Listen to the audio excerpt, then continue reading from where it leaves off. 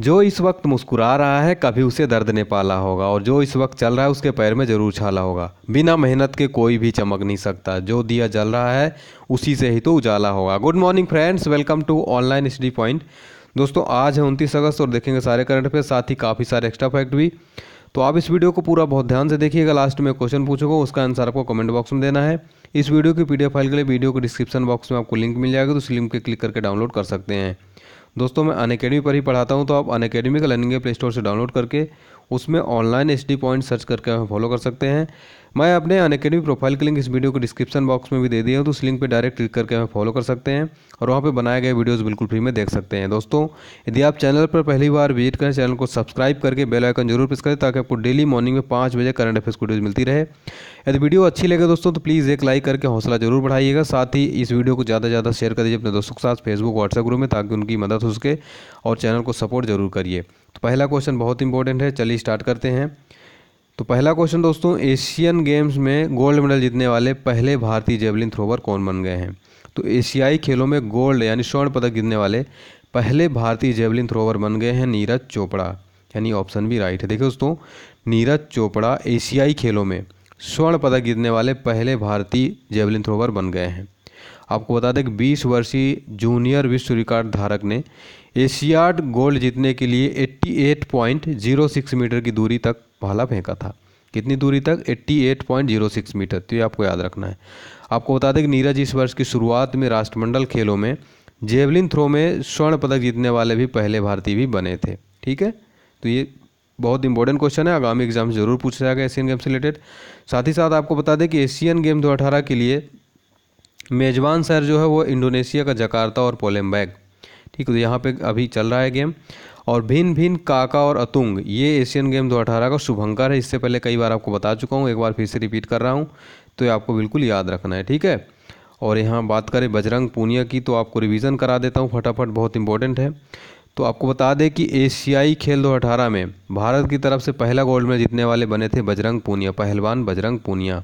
ठीक है, इन्होंने पुरुषों की फ्री स्टाइल सिक्सटी किलोग्राम वर्ग के फाइनल में जो तो बजरंग पुनिया ने जापान के ताइची ताकातानी को हराया था। किसको हराया था?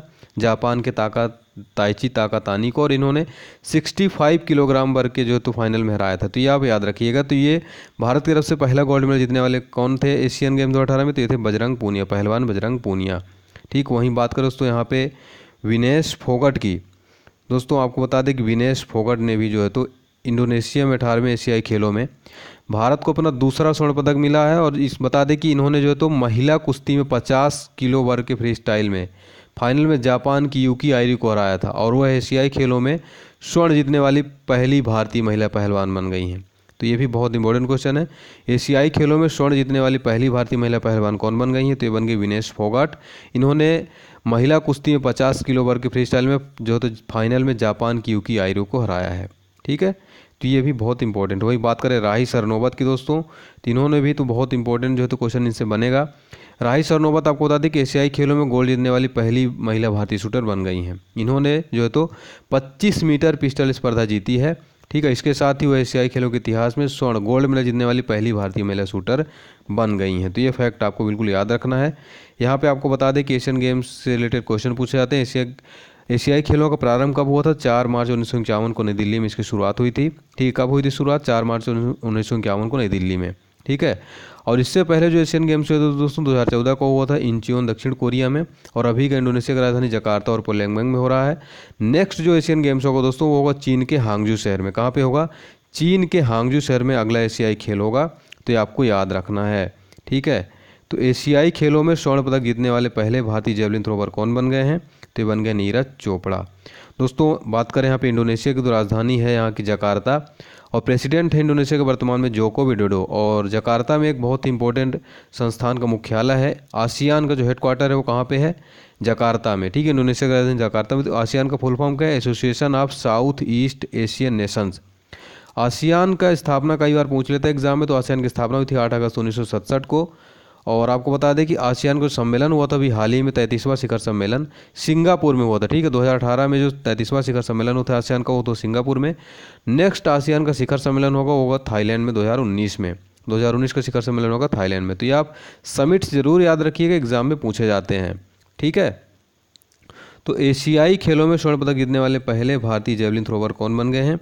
ये बन गया दोस्तों नीरज चोपड़ा। इसी तरह मैं हर क्वेश्चन में एक्स्ट्रा फैक्ट शेयर कर दूँ, करता हूँ तो वीडियो को लास्ट तक ज़रूर देखिएगा। यदि वीडियो अच्छा लगे तो लाइक ज़रूर करिएगा दोस्तों। आज टारगेट करते हैं तेरह हज़ार लाइक्स का। आई होप आप लोग पूरा कर देंगे। प्लीज़ एक लाइक करके हौसला ज़रूर बढ़ाइएगा और प्लीज़ इस वीडियो को ज़्यादा से ज़्यादा शेयर करिए अपने दोस्तों के साथ। चलिए, अगले क्वेश्चन की तरफ़ बढ़ते हैं फटाफट। अगला क्वेश्चन है दोस्तों पीवी सिंधु ने एशियाई खेलों में बैडमिंटन के लिए भारत के लिए कौन सा पदक जीता है? तो इसका राइट आंसर हो जाएगा दोस्तों ऑप्शन बी रजत पदक। ठीक है, देखिए दोस्तों, विश्व के, विश्व रैंक की जो है तो पीवी सिंधु ने एशियाई खेलों में बैडमिंटन में महिला एकल फाइनल में विश्व नंबर एक ताई त्यूसी इंग को जो तो ताइवान की हैं ये, हरा का हार कर ये तो भारत के लिए पहला रजत पदक प्राप्त किया। इसको हराया इन्होंने विश्व नंबर एक ताई त्यू इंग को। ये ताइवान की हैं। और आपको बता दें कि अपना 2018 का पांचवा फाइनल खेले सिंधु मैच में जो है तो तेरह इक्कीस, सोलह इक्कीस की स्कोर से हार गई हैं। और इस इवेंट में जो तो साइना नेहवाल ने कांस्य पदक जीता है। ठीक है? तो पीवी सिंधु ने एशियाई खेलों में बैडमिंटन के लिए भारत के लिए कौन सा पदक जीता है? ये जीता रजत पदक। आपको एशियन गेम से रिलेटेड बहुत सारे क्वेश्चन पूछे जाते हैं, एग्ज़ाम में बता देता हूँ। एशियाई खेलों में स्वर्ण पदक जीतने वाली पहली महिला कौन थी? तो दोस्तों, एशियन गेम्स में गोल्ड मेडल जीतने वाली पहली महिला थी, वो थी कमलजीत संधू। कौन थी कमलजीत संधू? ये क्वेश्चन बहुत इंपॉर्टेंट है। इसके अलावा आपको बता दें ओलंपिक गेम में कोई भी पदक प्राप्त करने वाली प्रथम महिला कौन थी? तो ये थी कर्णम मल्लेश्वरी, कांस्य पदक इन्होंने जीता था, ठीक है? कर्णम मल्लेश्वरी। ओलंपिक में कोई भी पदक प्राप्त करने वाली पहली महिला कौन थी? कर्णम मल्लेश्वरी को कांस्य पदक मिला था। इसके अलावा आपको बता दें कि ओलंपिक में, बैडमिंटन में रजत पदक जीतने वाली प्रथम महिला एवं विश्व बैडमिंटन चैंपियनशिप में महिला एकल खिताब जीतने वाली प्रथम महिला कौन थी? वो थी पीवी सिंधु। ठीक है तो ये आपको फैक्ट याद रखना है और ओलंपिक खेलों में भाग लेने वाली प्रथम महिला कौन थी?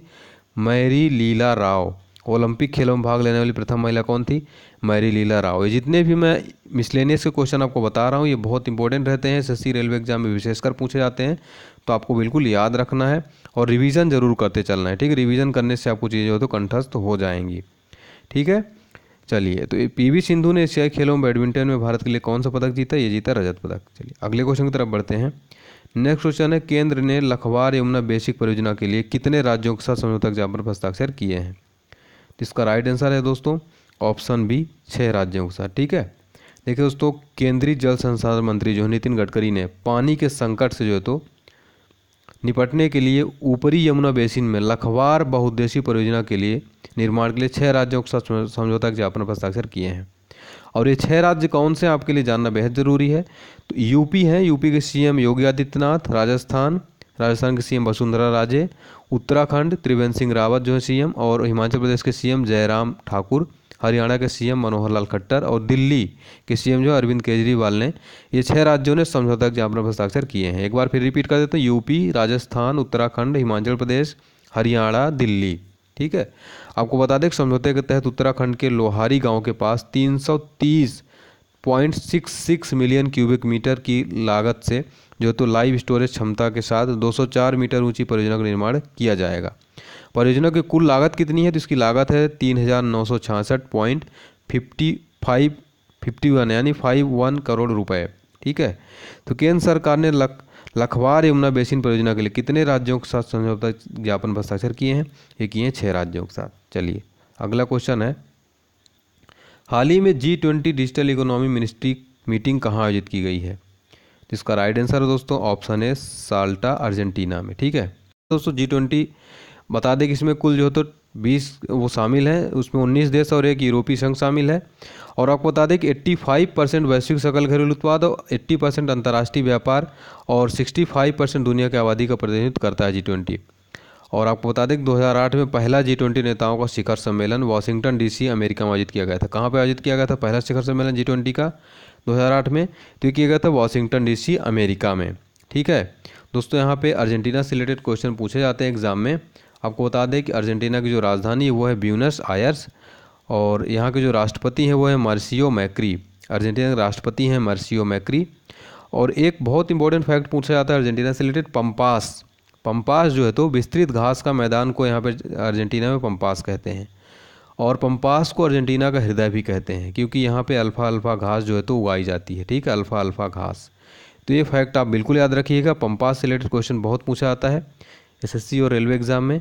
तो विस्तृत घास के मैदान को पंपास कहते हैं। चलिए, वहीं दोस्तों बात करें जोहान्सबर्ग, दक्षिण अफ्रीका की। तो अभी हाल ही में ब्रिक्स का शिखर सम्मेलन जो तो आयोजित किया गया था, ठीक है? दसवां ब्रिक्स का शिखर सम्मेलन, समिट्स कहाँ पे आयोजित हुआ है? दक्षिण अफ्रीका, जोहान्सबर्ग में। या फैक्ट याद रखिएगा। जापान की बात करें तो जापान की राजधानी टोक्यो और यहाँ के जो राष्ट्रपति हैं, सॉरी, प्राइम मिनिस्टर है, वो हैं सिंजो आबे। ठीक है, प्राइम मिनिस्टर हैं सिंजो आबे। तो ये आप याद रखिएगा। चलिए तो हाल ही में G twenty digital economy ministry meeting कहाँ आयोजित की गई है? ये की गई है साल्टा, अर्जेंटीना में। अगला क्वेश्चन है, हाल ही में किस बैंक को डिजिटल लेन देन में शीर्ष रैंक दी गई है? इसका राइट आंसर है ऑप्शन सी पीएनबी बैंक, यानी पंजाब नेशनल बैंक। देखिए दोस्तों पंजाब नेशनल बैंक ने घोषणा की है कि वित्तीय सेवा विभाग की रिपोर्ट ने इसे डिजिटल लेन देन के संदर्भ में राज्य के स्वामित्व वाले नंबर एक बैंक के रूप में रेट किया है। आपको बता दें कि नीरव मोदी घोटाले वाले बैंक को डिजिटल प्रदर्शन के लिए भारत के सभी बैंकों में छठे बैंक के रूप में भी रेट किया गया है। और आपको बता दें कि बैंक के 71 स्कोर के साथ सरकार द्वारा गुड के रूप में रेट किया गया है, जो प्रदर्शन की सर्वोच्च श्रेणी है। ठीक है? और बात करें यहाँ पे पीएनबी बैंक की दोस्तों तो इससे रिलेटेड क्वेश्चन बहुत पूछा जाता है तो एग्ज़ाम में जो फैक्ट पूछे जाते हैं, आपको बता देता हूँ। पीएनबी बैंक की स्थापना हुई थी 19 मई अठारह सौ चौरानवे को, इसका हेडक्वार्टर नई दिल्ली में पीएनबी का हेडक्वार्टर नई दिल्ली में। और इसके जो फाउंडर थे वो थे दयाल सिंह मजीठिया, ठीक है? दयाल सिंह मजीठिया पीएनबी बैंक के फाउंडर थे। वर्तमान एमडी और सीईओ हैं सुनील मेहता। कौन है? पीएनबी बैंक के वर्तमान एमडी और सीईओ सुनील मेहता, ठीक है? वहीं बात करें दोस्तों, यहाँ पे इलाहाबाद बैंक की तो इसकी स्थापना हुई थी अठारह सौ पैंसठ में हेडक्वार्टर है कोलकाता में। ध्यान दीजिएगा, इलाहाबाद का जो हेडक्वार्टर है वो कोलकाता में स्थित है और इसके जो वर्तमान सीईओ इलाहाबाद के वो हैं दीन बंधु महापात्रा। इलाहाबाद बैंक के वर्तमान सीईओ और एमडी कौन है? दीनबंधु महापात्रा।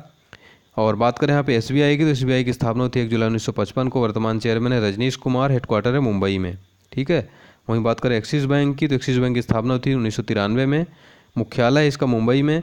शिखा शर्मा वर्तमान सीईओ हैं और चेयरमैन है एक्सिस बैंक के वर्तमान में संजीव मिश्रा। ठीक है, एक्सिस बैंक का वर्तमान सीईओ कौन है? संजीव मिश्रा। यहाँ पे मैं जितने भी सीईओ और स्थापना बताया हूँ, ये विशेषकर रेलवे एग्ज़ाम में पूछा है तो ग्रुप डी स्टूडेंट ज़रूर इसको पढ़ लें, बिल्कुल ध्यान दीजिएगा, ठीक है? जितने सीईओ और एमडी हैं, वो सब आप याद रखिएगा।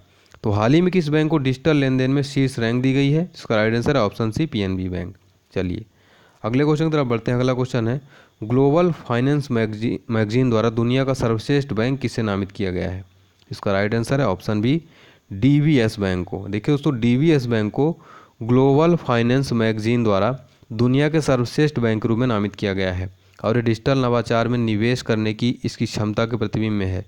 और आपको बता दें जबकि यह अभी भी अपने ग्राहक के लिए स्थिर संचालन बनाए रखता है, आपको बता दें D D B S New York आधारित प्रकाशन से सम्मान प्राप्त करने वाला पहला एशियाई बैंक है। और आपको बता दें कि पीयूष गुप्ता एस के मुख्य कार्यकारी अधिकारी यानी वर्तमान में सीईओ कौन है? वो है पीयूष गुप्ता। इसका है इसका हेडक्वार्टर है डी बी एस बैंक का सिंगापुर में।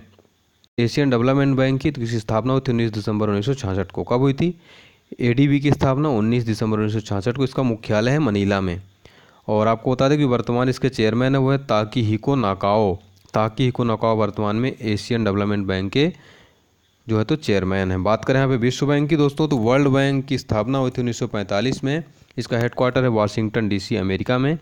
और इसके जो वर्तमान प्रेसिडेंट है, वो हैं जिम योंग किम। ठीक है, जिम योंग किम वर्तमान विश्व बैंक के प्रेसिडेंट हैं और इसका उद्देश्य सदस्य राष्ट्रों के पुनर्निर्माण और विकास कार्यों के लिए ऋण देकर पूंजी की व्यवस्था करना। तो ग्लोबल फाइनेंस मैगजीन द्वारा दुनिया का सर्वश्रेष्ठ बैंक किसे नामित किया गया है? इसका राइट आंसर दोस्तों, ऑप्शन बी डी बैंक। ठीक है, चलिए। अगला क्वेश्चन दोस्तों, कौन सा देश 2019 एशियाई यूथ और जूनियर वेट लिफ्टिंग चैंपियनशिप की मेजबानी करेगा? इसका राइट आंसर दोस्तों ऑप्शन सी दक्षिण कोरिया। ठीक है, दक्षिण कोरिया जो तो मेजबानी करेगा। दक्षिण कोरिया की राजधानी है प्योंग एंग और मुद्रा है उत्तरी कोरियाई वॉन और सर्वोच्च नेता यहाँ के जो हैं तो तानाशाह किम जोंग उन अगला क्वेश्चन है, इसरो अंतरिक्ष में पहला भारतीय मानव मिशन कब लॉन्च करेगा? राइट आंसर है ऑप्शन डी 2022 तक। ठीक है देखिए दोस्तों 2022 तक भारतीय अंतरिक्ष अनुसंधान संगठन यानी इसरो द्वारा भारत का पहला भारतीय मानव मिशन शुरू किया जाएगा। बता दें कि इसरो के जो वर्तमान अध्यक्ष है, वो डॉक्टर के सिवान हैं। इसरो का फुल फॉर्म है Indian Space Research Organisation. Full form है इंडियन स्पेस रिसर्च ऑर्गेनाइजेशन। इसका मुख्यालय है बेंगलुरु, कर्नाटक में। तो वर्तमान अध्यक्ष इसरो के, आप याद रखिए कि बहुत इंपॉर्टेंट है, डॉक्टर के सिवान। और इसका मुख्यालय है बेंगलुरु, कर्नाटका में। चलिए, अब देख लेते हैं कल का आंसर कल मैंने क्वेश्चन पूछा था डीआरडीओ यानी रक्षा अनुसंधान एवं विकास संगठन के नए अध्यक्ष रूप में किसे नियुक्त किया गया है? राइट आंसर था option D G Satish Reddy को सभी लोगों ने राइट आंसर दिया था, लगभग सभी लोगों ने इसके बारे में बहुत सारे फैक्ट लिखे थे। अब देख लेते दोस्तों, आज का सवाल, आज का क्वेश्चन है, अटल जी ने कहा, पुस्तक के लेखक कौन है? अटल जी ने कहा, पुस्तक लेखक कौन है? इसका आंसर आपको राइट आंसर कमेंट बॉक्स में ज़रूर लिखना है ऑप्शन आपके सामने दे रखे हैं। यदि आपने कल की वीडियो देखी होगी तो आपको ज़रूर पता होगा, नहीं देखी जस्ट यहाँ पे प्ले होगी, ज़रूर देख लीजिए, बहुत इंपॉर्टेंट है। ठीक है प्लीज़ कमेंट ज़रूर करिएगा, साथ ही यदि वीडियो पसंद आए तो लाइक करके जाइएगा, इसे प्लीज़ शेयर कर दीजिए अपने दोस्तों के साथ, ताकि उनकी हेल्प हो सके। और आप हमारे फेसबुक पेज को ज़रूर लाइक कर लीजिए, वहाँ पे बहुत सारे आपको अपडेट्स मिलते हैं। साथ ही टेलीग्राम चैनल ज़रूर ज्वाइन कर लीजिए। मिलते हैं नेक्स्ट वीडियो के साथ दोस्तों। तब तक के लिए आप अपना ध्यान रखिएगा। साथ ही साथ आपको एक जानकारी दे दूँ जस्ट यहाँ पे प्ले होगी एक और वीडियो 2018 से रिलेटेड जितनी भी चर्चित बुक्स और ऑथर्स हैं, उनके लेखक जो हैं, उन पर वीडियो बनाया था कल मैं। तो आपको यहाँ पे प्ले होगी, ज़रूर देख लीजिएगा, बहुत इंपॉर्टेंट है। ठीक है? चलिए, मिलते हैं नेक्स्ट वीडियो के साथ। Thank you